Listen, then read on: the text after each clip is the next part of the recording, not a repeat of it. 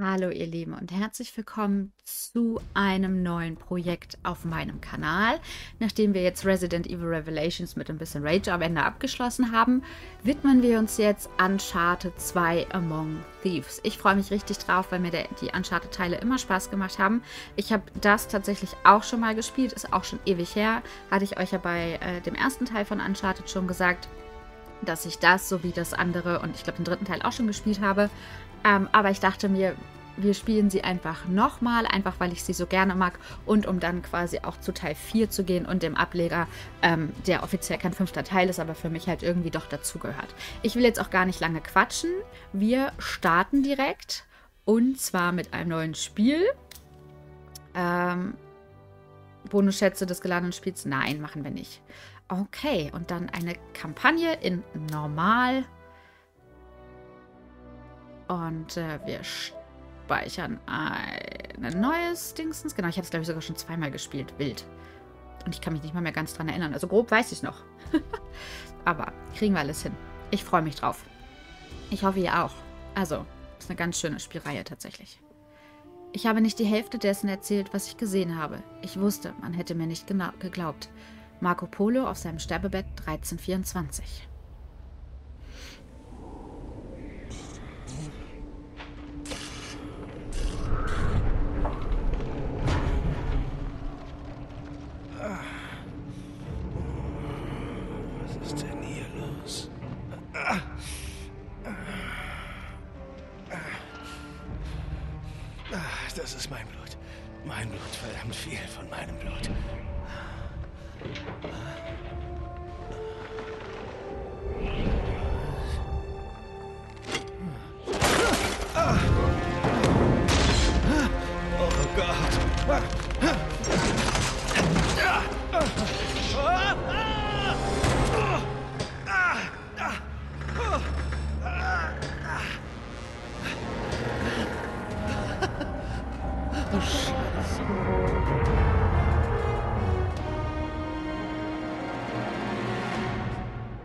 Herzlich willkommen, Nathan. Ähm, Felsenfest, ja. Wir befinden uns mal wieder in der besten Ausgangssituation, die dieser Typ jemals äh, haben kann. Ähm, oh Gott. Ähm, ach so, hier rum. Gut, okay, ich war mir nicht ganz sicher. Der Typ hat einfach tatsächlich immer ganz schön viel Pech. Äh, muss ich jetzt hier lang? Ich bin mir gerade unsicher. Doch, ich glaube hier lang. Ja, doch. Okay. Tschüss. Also ich frage mich immer, wie er es schafft, sich in solche ähm, Situationen zu manövrieren, ist, glaube ich, das richtige Wort. Aber er hat meinen größten Respekt, so wie Lara, dass er das, äh, dass er in diesem körperlichen Zustand, ähm, oh Gott, das noch durchzieht, was er gerade durchzieht. Ich weiß tatsächlich nicht mehr, wie wir da, also wie er in diese Situation gekommen ist. Wie gesagt, ich habe das Spiel eigentlich schon zweimal, glaube ich, gespielt, aber fragt mich nicht. Es ist einfach, oh Gott, ewig her. Los, Nathan, du scha... Oh Gott. Der Typ ist... Das, was ist denn mit ihm? Also ich wäre übrigens schon längst gestorben. Ich hätte aufgegeben. Ich hätte mich wahrscheinlich einfach fallen lassen. Ähm, so ist einfach so. So zum Beispiel. Upsi. Ich habe gedacht, er springt gerade. Ich habe echt gedacht, ach nein, jetzt müssen wir das nochmal machen. Ähm, genau. Also für die, die meinen ersten Uncharted-Teil nicht gesehen haben, ich habe grundsätzlich bei Uncharted ein Problem mit dem in die richtige Richtung springen. Einfach, weil es ähm, für mich von der Kameraführung manchmal ein bisschen schwierig ist zu erkennen, ähm, in welche Richtung das Ganze hier gerade geht. Äh, wie ihr gerade eben schon gesehen habt, in den ersten vier Minuten habe ich richtig gut hinbekommen. Ähm, gewöhnt euch dran. Also das ist tatsächlich was, dieses, äh, die Kameraführung bei den Parcours oder bei den Springparts ist was, was mich oft genug zur Verzweiflung bringt. Wie gesagt, die, die den ersten Teil gesehen haben, die wissen, da bin ich mehrfach mal daneben gesprungen, weil ich dachte, ich springe richtig und bin aber falsch gesprungen, so wie eben auch. Das war das perfekte Beispiel dafür, dann wisst ihr zumindest schon mal, was auf euch zukommt. Gucken wir gleich, dass ich gleich die Kamera gedreht bekomme, dass wir das gleich richtig machen und in die richtige Richtung schwingen. Weil für mich, ich war mir felsenfest der Überzeugung, wir springen gerade. Und ich kann die Kamera auch gar nicht weiter drehen. Ja, jetzt ging's. Warum ging's denn eben nicht? Also das, das finde ist halt zwischendrin echt sowas, was ich unheimlich frech finde. Ähm, und was mich auch echt wütend macht. Äh, wir müssen, glaube ich, an den Sitz springen. Okay. Es ist halt hier alles andere als äh, geil. Ich find's... Oh Gott. Ja, ja, komm. Ähm, also diese Sicht ist halt immer ein bisschen schwierig. Finde ich. Weil gerade hier, man sieht halt nicht, wo man hinspringt. Aber das ist halt typisch... Achso, müssen wir jetzt daran? Okay. Achso, jetzt sind wir wieder hier außen an dem Rohr. Ich verstehe. Und das ist das Einzige, was mich an dieser Spielreihe, zumindest an den ersten zwei, ich weiß nicht, ob es beim dritten auch noch so war, tierisch nervt, weil... Kannst du dich da jetzt bitte hochziehen? Ähm, weil es mich halt wirklich mehr als einmal die Nerven gekostet hat und zwar richtig. So, aber das ist nichts, womit wir nicht leben können, aber es ist zumindest was, worauf ich euch vorbereiten möchte, weil es halt einfach, ihr solltet es wissen, dass es passieren wird. Komm, jetzt kletter da hoch, Nathan. Also ich meine, Respekt, dass du da ohne Jacke rumrennst. Es ist bestimmt richtig kalt. Können wir da bitte... Lauf doch einfach. Komm, Junge, lauf. Lauf, lauf, lauf, lauf, lauf, lauf, lauf, lauf, lauf, lauf.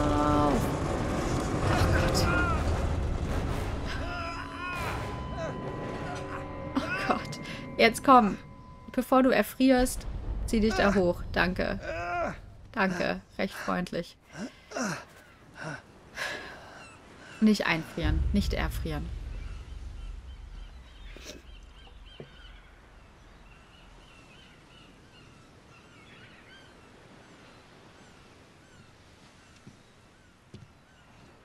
Ganz allein, Seemann? Harry Flynn? Hey! Was zur Hölle machst du denn hier? Ich hab dich gesucht, Mann. Oh oh. Sollte ich mich freuen oder lieber nicht? Von beiden ein bisschen. Komm her. Ich habe einen Job für uns. Ach ja? Ein Kunde will uns ein kleines Vermögen teilen, wenn wir ihm ein ganz bestimmtes Objekt beschaffen. Und weiter?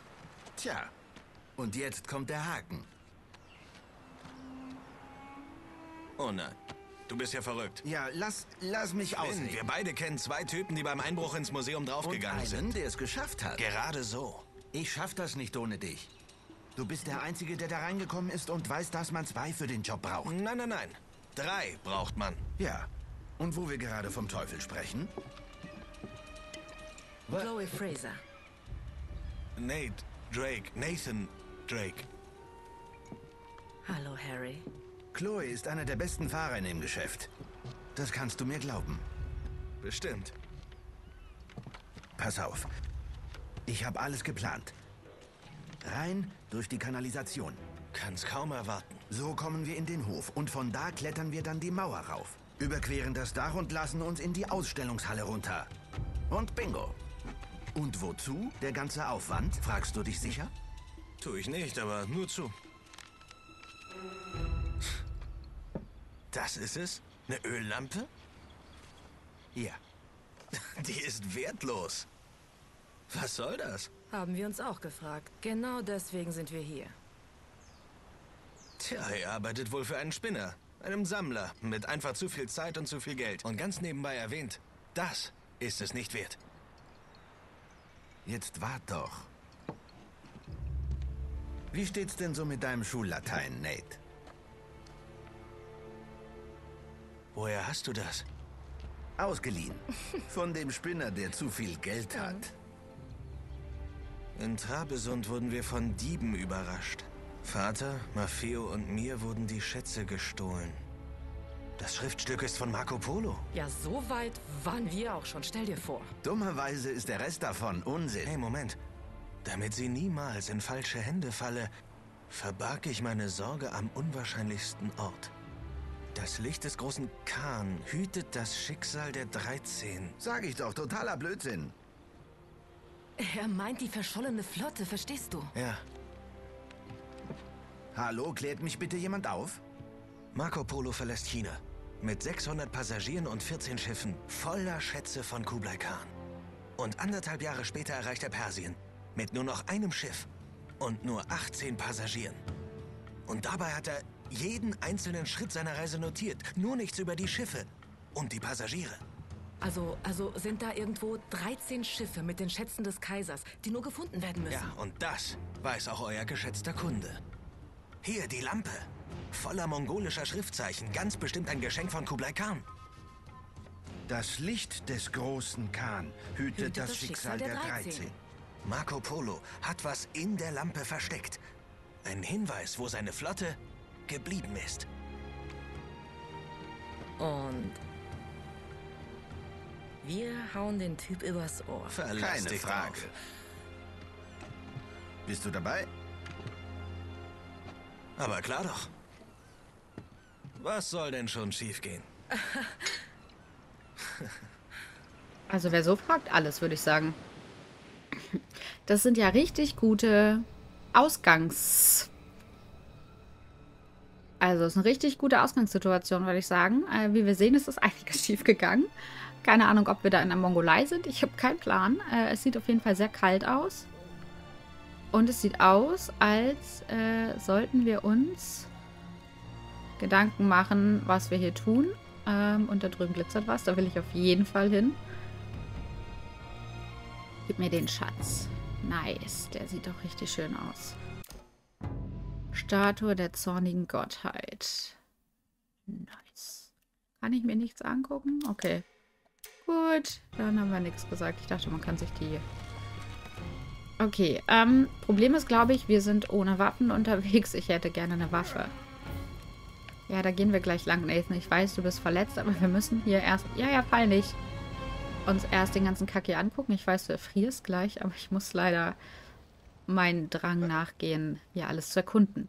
Also es wird auf jeden Fall spannend. Wir haben eine Frau dabei, was immer für Schwierigkeiten sorgt. Zumindest bei Nathan habe ich das Gefühl. Ähm, und wir wollen jemanden übers Ohr hauen, der anscheinend sehr viel Geld hat. Ob das so schlau ist, keine Ahnung. Und wir müssen dafür in ein Museum einbrechen. Ähm, klingt alles richtig spannend. Ach, scheiße. Gut, der Rückweg ist vorbei. Ähm, okay. Mhm. Das wird richtig gut. Mich würde mal interessieren, wie wir in diesen Zug gekommen sind. Ich wette, hier sind bestimmt auch gleich Gegner.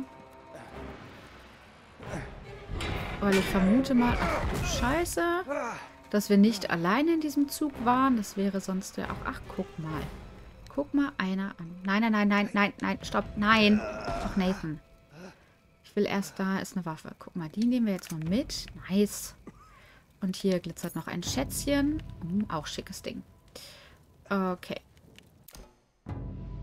Ja gut, man kann sich tatsächlich nichts machen als sie angucken. Deswegen werden wir das in Zukunft auch einfach nicht machen. So, wir haben auf jeden Fall schon mal eine Waffe. Das ist schon mal gut. So, dann gucken wir mal. Da ist auf jeden Fall Munition. Das ist auch perfekt. Richtig gut. Ähm, Verschlossen. War ja klar. und man muss es natürlich mal wieder aufschießen, damit es überhaupt hier... Hm, okay.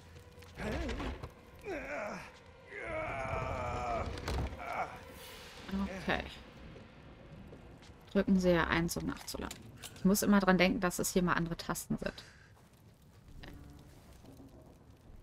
Okay. So, dann arbeiten wir uns mal vorwärts. Er lebt! Tschüss. Dieses Karma. Ja, dieses Karma ist ein bisschen... Ach so, wartet mal. Ich will mal ganz kurz ein bisschen den Sound einstellen. Die Soundeffekte... Ah, Sprachausgabe mal ein bisschen lauter. Filme... So, ich versuche mal das ein bisschen anzugleichen. Okay, gucken wir mal, wenn mir das vielleicht ganz gut passt. Ja, Munition nehmen wir mit. Ah, Okay, wir machen uns mal gespannt darauf, dass wir bestimmt auch gleich noch auf noch mehr Gegner treffen. Ich weiß nicht, ob das gerade so schlau war, Nathan, aber gut. Äh oh Gott, müssen wir jetzt hier wieder klettern? Es geht direkt gut los. Nur spannend.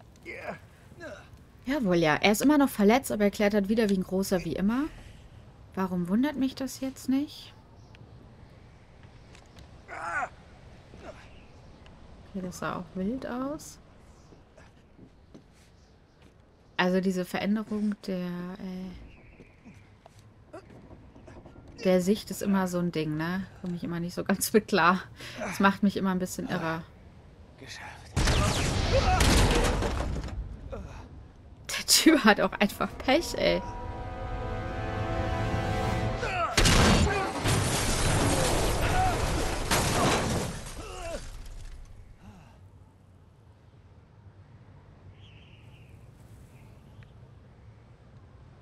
Respekt, dass er einfach irgendwie immer lebt.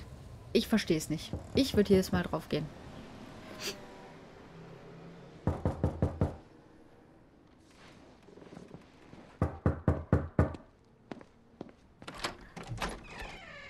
Hallo? Ja, so viel zum Vorspiel. Erklärst du mir vielleicht mal, was hier los ist? Du meinst mit Flynn? Ja, du hast nichts gesagt. So war's doch viel lustiger. Egal. Du bist nicht gerade das, was man leicht zu finden nennt. Besser als leicht zu haben. Er ist eifersüchtig. Vergiss mal nicht, wer hier wen im Stich gelassen hat. Du hast gar kein Recht, eifersüchtig zu sein. Jetzt mal langsam, Chloe. Wenn es dich beruhigt. Meine Beziehung zu Flynn ist rein geschäftlich. Ach ja? Meistens jedenfalls. Als mir klar wurde, dass er tatsächlich eine Spur hat, habe ich mir gedacht, du wärst gern mit von der Partie. Was hast du vor? Wie abgemacht. Wir ziehen es durch, suchen die Schiffe und hauen mit dem Schatz ab. Mit Flynn. Mhm. Und dann? Und dann teilen wir alles durch drei und du und ich verschwinden. Zusammen diesmal. Verstehe. Bis dahin darf er nichts von uns wissen. Der flippt aus vor Freude. Das wird er schon überleben. Vertrau mir. Ich predikte, das kann nicht gut gehen. Nathan und die Frauen, das geht nie gut. Möchte es nur kurz erwähnt haben.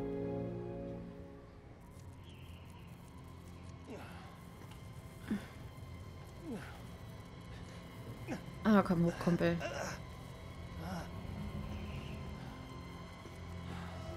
Lasst mich raten, wir hängen mal wieder hier vorm, überm Abgrund, kurz vor Tod. Wie immer. Ach, der Typ, ey. Der arme, arme Nathan. Der macht hier echt was mit. Er hat einfach ein Talent, sich grundsätzlich in Schwierigkeiten zu bringen. Und immer kurz vorm Abkratzen zu sein. Ist einfach so. Ich weiß auch nicht warum, aber nun ja. Ist halt einfach sein Talent. Könnte da hinten, kommen wir da... Nice. Es hat sich gelohnt, dahin zu springen. Ich bin begeistert. Wir haben einen Schatz. Perfekt. Gucken wir uns aber später an, habe ich jetzt keine Lust. Also, wie gesagt, es ist eh nichts, wenn wir uns die angucken, dann können wir es nämlich auch lassen. Komm, Kleiner. Ich weiß, du fühlst dich richtig dreckig und rotze, aber es nützt nichts. Also ich, ich wäre übrigens schon tot, bei mir wäre schon Ende. Ich sag's euch, so wie es ist. Oh, Killidokely. Oh oh, das schreit nach Gegnern.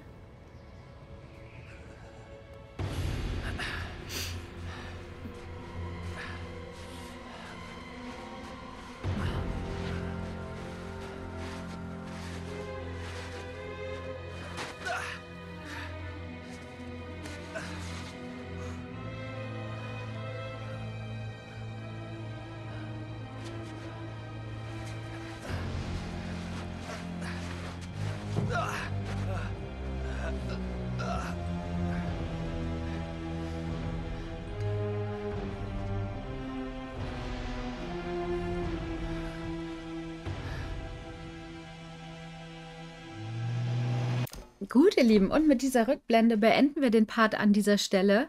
Was vor vier Monaten in Istanbul passiert ist, das, ihr Lieben, werden wir uns ähm, morgen ansehen. Also ihr bekommt diesen Part hier tatsächlich nach dem letzten Part Resident Evil, also zwei Videos an einem Tag. Und ähm, ja, was in Istanbul vor vier Monaten passiert ist, das, ihr Lieben, werdet ihr morgen sehen. Bis dahin, tschüss.